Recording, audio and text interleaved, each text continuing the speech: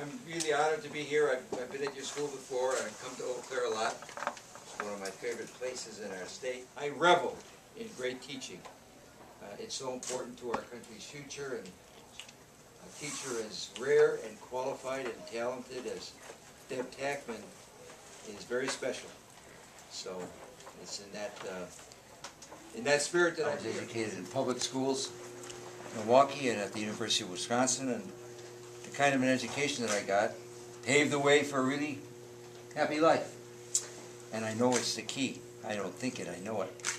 And I say it every time I can because I want you all to at least learn a little bit from my experience and from many experiences. The key to a great life starts with a good education. There's more to it, but that's the foundation. So you're all seniors, right? You're all going to college. Anybody thinking of not going to college? Everybody's going to college, I hope. Very, very important. I was in business before I got into public service at the Kohl stores. And um, I love that. I was at the Kohl stores for many years. My parents started the Kohl stores way, way back in the Great Depression in 1929. They were poor immigrants from Europe. They met in Milwaukee, got married, and opened up a little grocery store in south side of Milwaukee, no bigger than a closet, and that was the beginning of the coal stores. Amazing, huh? Only in America. But my number one interest is education. Uh, my number one interest is your future. I know as well as you know that your future is tied up to education. I want to share something with you that you people might not know. Dear Senator Kohl, in 1990, I believe you started doing your scholarships, Did. correct? Oh my gosh. That's when you came here. Yeah. Oh my gosh, that's right. You did some homework.